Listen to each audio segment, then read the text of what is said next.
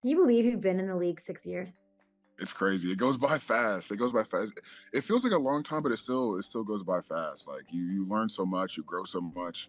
You come to the league and you're like you're this like young, immature kid, and then you just learn and you grow and become a man. It's it's crazy how fast it goes.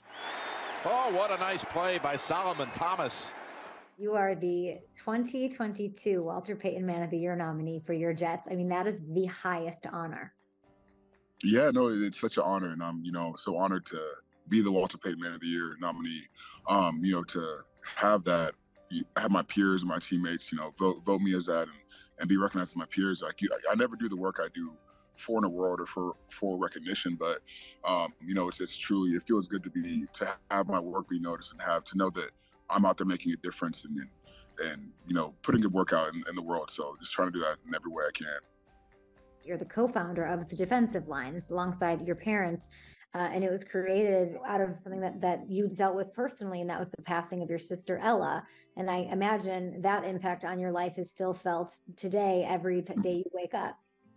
Definitely, you know, I, I miss my sister every day. You know, uh, I miss her so much. Uh, you know, she meant the world to me. Um, you know, and, and, and it's a pain that I'll forever feel, but I'm trying to turn that pain into something where I can help others. You know, my sister had a dream, she had a goal um, to help others who were struggling with mental health, to help young girls who were um, who were sexually abused. She, she had these missions, and we're trying to carry them on on for her. Um, you know, we know how much she wanted to to love love others, and through this work, uh, I believe it's so important um, to to make one person uh, not feel the way that Ella's feeling, and make one one family not feel the way that my family is going through through losing Ella but it's all worth it if I can save one life, if I can save one family from going through what we went through. Um, you know, and, and that's that's what this work is about. Yeah, you've described yourself as a quote unquote passionate fighter for those who are struggling. So I can't imagine uh, how important this recognition of your work in the mental health community means to you. No, yeah, it, it means a lot because it's it's a world where a lot of people feel alone. So I just want to fight for those people because I've been in that position. I've been in this in, in, a spot where I felt alone, where I felt like I have no one to go to. That I have to be a man. I have to be tough. Um, in the wrong way, and I, I, had to learn how to get help. I had to learn how to talk, go to therapy, and talk about these things. I I believe suicide is the most preventable preventable death, and so I'm trying to do all I can to educate those on mental health, how to get help, on where to go for resources, and just to talk, start the conversation. Through my own mental health journey, um, you know, I've, I've, I've learned a lot. You know, I've learned that it's okay not to be okay. Um, you know, I learned it's okay to be sad. It's okay to be angry. It's okay to be depressed. Like, like these are feelings of, of the human experience. And, you know, I, I've learned how important it is, you know, to ask someone how you're doing. You're hearing from families and kids that you are inspiring. Have they inspired you? I've been I've been so inspired, and, I, am learning every day. You know, I'm learning so much about this work. Um, you know, just inspired by all these people who who have had so many similar stories and who are still fighting every day. And now I understand from going through my own personal journey and learning from my sister's story that I understand how much strength that takes to be here every day. Like that motivates me in in, in every way.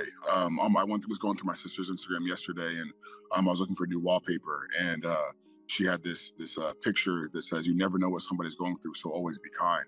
And it, it's so true because you never know what battle someone's facing. You know, in, the, in this world, we are, we're always presented with the good. Don't be a burden. You know, don't bring someone's mood down. And we don't really know how people are doing it. The sports side of, of mental toughness and mental health, like um, you know, all, all, the work that Kobe did about being present, you know, um, channeling your emotions, the true meaning of mental toughness, which is not just to tough through everything, but to compartmentalize your feelings. It's about accepting them and working through them and, and being one with yourself. We can help you too with the WPMOY challenge. Is what's called the Walter Payton Man of the Year challenge. You can use that yes. hashtag and put Solomon's name. Please help us win. Please tweet for us. You know, it'll be it'll, it's going to you know amazing work, uh, suicide um, prevention education and, and awareness. We're running these programs and we're going into schools and, and teaching them, you know, teaching mentors how to look out for warning signs, how to conduct a, a, safe mental health environment. Well, I know the Jets are super proud, Jets fans super proud, NFL fans like myself super proud, your mom, uh, and of course Ella, all proud of you. So Solomon, congratulations and thank you. Thank you so much, Kay. I appreciate you. You're a badass, Solomon. God. so really are you. Are.